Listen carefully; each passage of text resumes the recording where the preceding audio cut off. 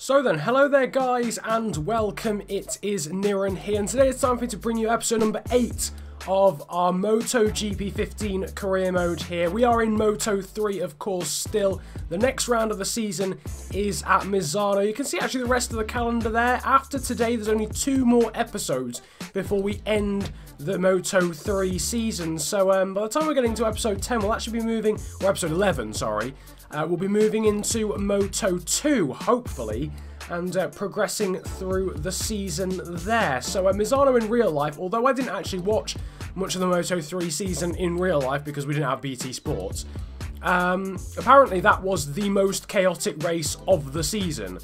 Um, so we'll hopefully see a very chaotic race for today. Now, last episode, in theory, we should have signed a contract with a new team, and that was Red Bull KTM Ajo. As you can see, uh, we have confirmed signed for Red Bull KTM. Our new teammates are no longer Guevara, Bagnaia, and Jorge Martin. We now have Miguel Oliveira, who's the man we should be um, we should be battling with apparently. He's our rival. And then Karel Hanika and Brad Binder. And of course, last episode we won our first race as well. Our first race win in our career at our home race in Silverstone. So we have a new race objective at this new team, which is 8th position. Today we're here at Misano, ready for the race. And there you can see uh, our new bike with, of course, our number 74 in dedication to uh, Daijiro Kato. Anyway, as someone kindly reminded me in the comment section for the last episode, bike development is reset completely when you sign for a new team. But in all honesty, because this bike is so good anyway, it's not that that factor isn't actually going to matter too much in all honesty because this team is so good anyway. So then here you can see the grid Miguel Oliveira, our rival and uh, and teammate he's third. Hanika, one of our other teammates, will be disappointed with 10th, and there you can see the rest of the order, featuring some of our teammates, or ex-teammates, sorry, Guevara Martin, for example. Four lights are on, and they are now off here at Misano. This is going to be somewhat of a baptism of fire, because I don't know this track very well whatsoever, so in terms of a debut, I hope Red Bull KTM aren't expecting all that much of me. Also, I haven't played this game in some time. It's been about potentially two weeks since I last played this game, so I'm not expecting too much not highly, um, um yeah, um, my, my objective isn't too high, to be honest with you, in this one. We are up to 27th already, though, in this one, as uh, Kornfeind sits us up slightly, and we sit him up with a bit of a biff. I'm going to try and make less contact with people as well in this one, because I, I know you can't really make contact with people in real life, otherwise you fall off. So I'm going to try and live by those standards on this game as well, and perhaps try and make less contact with people in future. Um, we've gone very deep, though, into that left-hander and consequently quite wide, but thankfully haven't lost any positions. This is a six-lap race as well, just for referencing. Next rider up the road is Andrea Migno, who uh, is now to our left. Now behind us, and well, I said I wasn't going to make contact, but we almost dropped Wayne... Uh, Wayne, not Wayne Gardner. It's not flipping Wayne Gardner. What's his name? Remy Gardner. We almost dropped Remy Gardner to the floor there. Almost making some contact there with Öttl. Going to see if we can just get the inside there of Danilo as well. And somehow we fall off. I don't quite know how that happened, but we fall off, which obviously isn't massively ideal, but um, there we go. Anyway, we're, we're through cleanly now. Not entirely. We got on the curb, I know, but just, curbs don't just spit you out. Anyway, um, we've got Guevara and Livio Loy both to our left-hand side, which is the inside for the, the... What a move. That was quite nice around the outside. Oh, I was too busy looking behind me, however. Uh, in front of us are two Italian riders, Ferrari and Bagnaia. Someone just went really wide in front of us. It looked like a black bike, so I think it was either Masbou or, uh, or potentially McPhee there as Bagnaia. Gets very close to our right-hand side, but I think we should be able to get through with a more powerful KTM engine past these two Mahindras, so we breeze past Ferrari there on the straight as well. Bagnaia thinking of a move back up the inside though, and I think he might make that stick actually, and he does on the S-Bar bike. So fair play, but we get a better X out of, the left-hander. And uh, through we go for this right-hander. Through the final corner, Hiroki Ono lunges at Andrea Locatelli and goes through. We should get a better exit than both of them, and we'll hopefully go past both of them down the straight, and we do. Uh, now, Fenati, to be fair, was pretty underwhelming in this season in real life, but actually Bastianini was very, very good, and actually gave Ken a run for his money in the championship. So that's actually a mistake from this game, from whoever made this game, in actually thinking Bastianini is worse than he actually is, because he shouldn't be here. He should be at the top of the order based on his performances in real life, really. Um, but unfortunately, he's not been credited with that. We, however, have gone past McPhee, and now we're trying to get past Fenati and Bastianini, and we do that just about through that right-hander. We haven't made any positions on this lap. Philip Öttl has just fallen off, which is a shame for the German rider. We are making a very risky move, but we go around the outside of Masbou. And of Hanika, oh my word, we almost hit the back of Vasquez and Antonelli. When you watch that, when I watch that back in editing, I will have no idea how we did not just go absolutely tit over face into the back end of Antonelli and Vasquez right there. We've gone very wide though through the penultimate corner, which is not ideal. But yeah, as I was saying, Vasquez is really underachieving. He usually finishes fourth in these races. Um, but he's nowhere near that. Are we going to drag Antonelli to the line? Not quite, but we're going to go through, hopefully, into turn one and maybe at the inside of Vasquez as well. We should be able to take fourth here. We should be able to get past all three of these guys, really, given they're in such close proximity. Uh, but you can see up the road the massive gap that there is up to the likes of Oliveira, Kent and Quartararo. Yeah, this is going to be this is actually going to be quite a struggle. We've got Vinales though on exit, so that's going to be okay. That's job done. That's one position made, but look at the, the gap actually that Navarro and, uh, and Binder have managed to stretch out over myself and Vinales is quite large, and it's not going to be helped if Isaac Vinales behind us continues to just like kick us through the corner. And uh, having said that it was going to be extremely easy to get past all three of these guys, well, it's not going to be because Navarro and Binder have just taken off into the distance, um, which is not helpful. We do go flat out through there, though. I think we're going to gain a bit of time, though, through these right-handers because we're a lot quicker than the AIR. Again, we come quite close, but not quite as close as before. And uh, can we do anything, do you think? I, I wonder, can we at least get Navarro here? I reckon we can get Navarro, but he's thinking of going up the inside of Binder. Oh my word, and we almost got well out of shape there. And if I tell you, if Navarro hadn't attempted to go up the inside of Binder, we would have been absolutely fine. We would have made the position, but because because um, Navarro lunged it at Binder, the the gap just slowly closed completely um, on us. But nevertheless, Danny Kent wins from Oliveira and then Fabio Quartararo.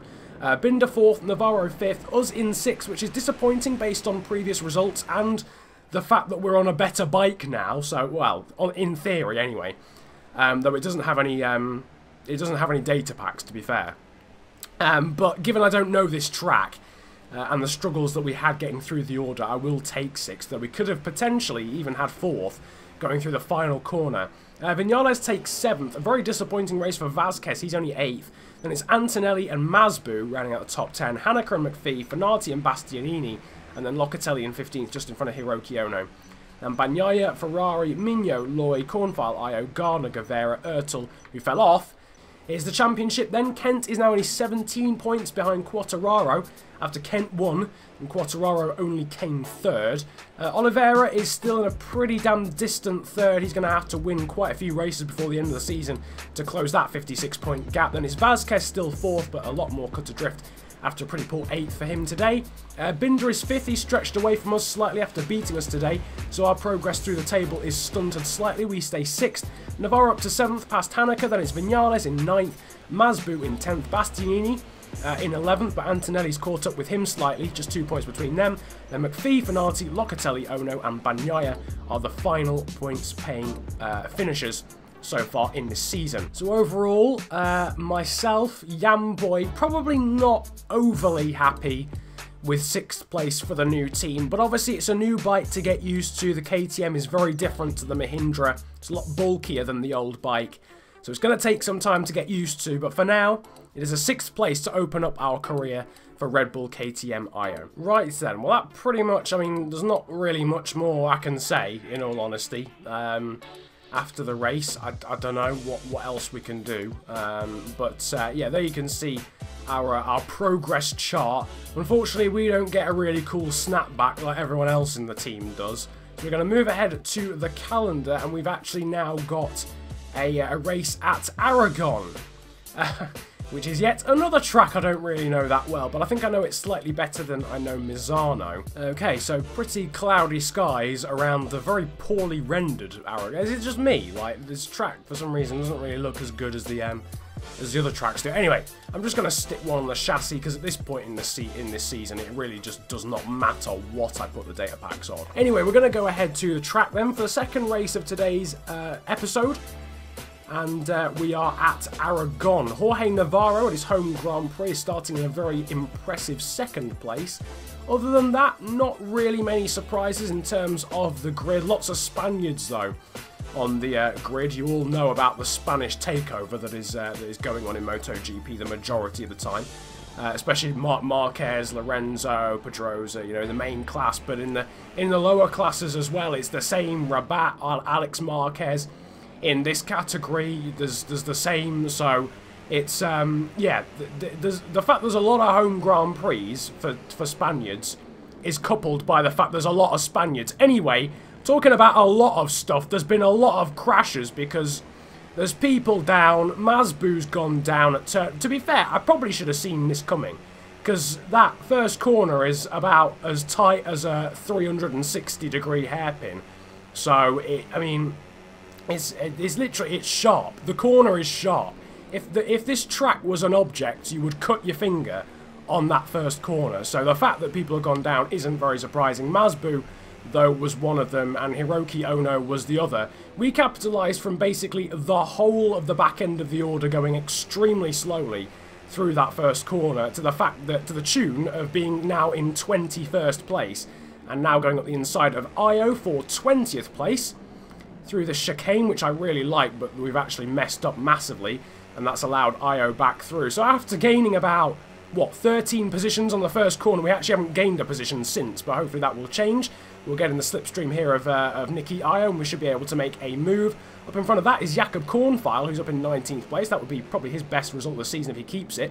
Uh, but we're going up the inside of him and a Masbou. That was a very late, last of the late breakers uh, unplanned manoeuvre, it has to be said. At no point was I planning to make that move.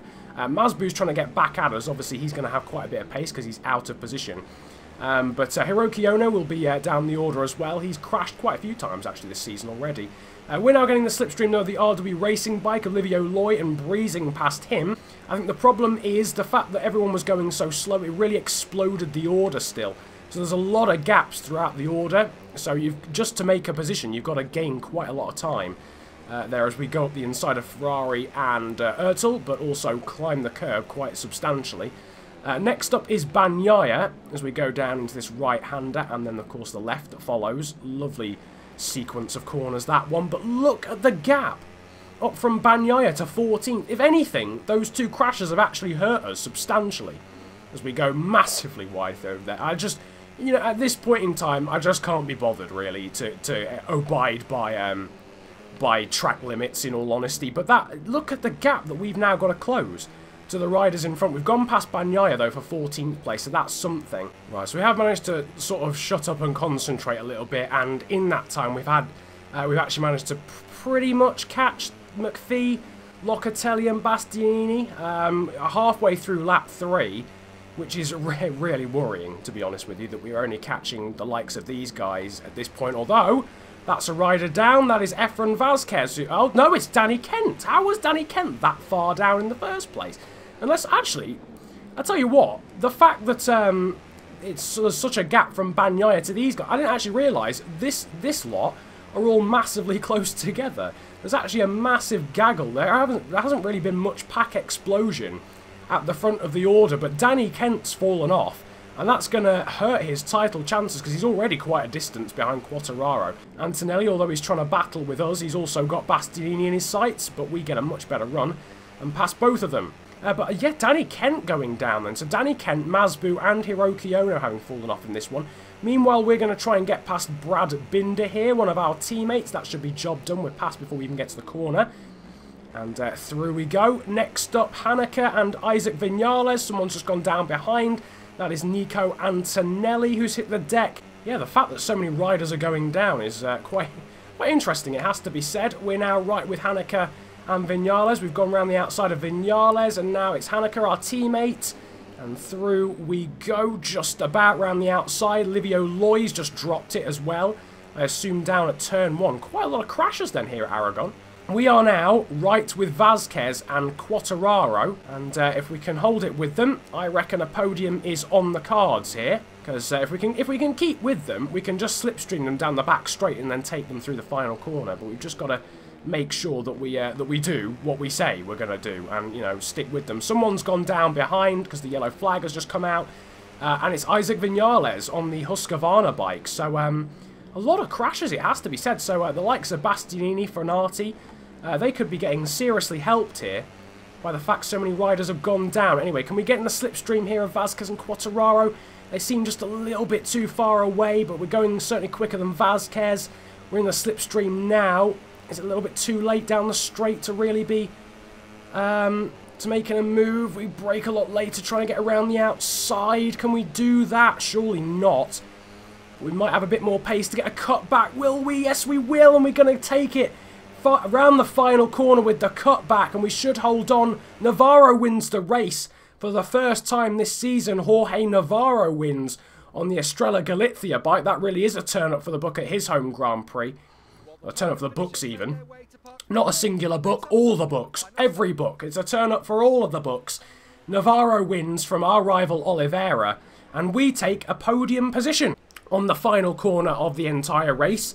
It wasn't looking as if it was going to happen. It looked as if Quartararo and Vasquez were going to force us out around the outside, which was, of course, never going to happen. But uh, we managed to get the cut back and we managed to get the podium.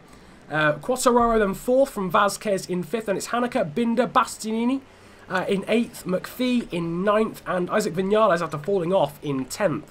Uh, Fenati 11th, and Kent, he fell off as well. He will only take 12th place, and it's Locatelli, Antonelli, and Bagnaia who gets another point in 15th. Unfortunately, at the expense of Öttl and Kornfeind, who still don't have a point. And it's Ferrari, Ono, Ajo, Migno, and Martin.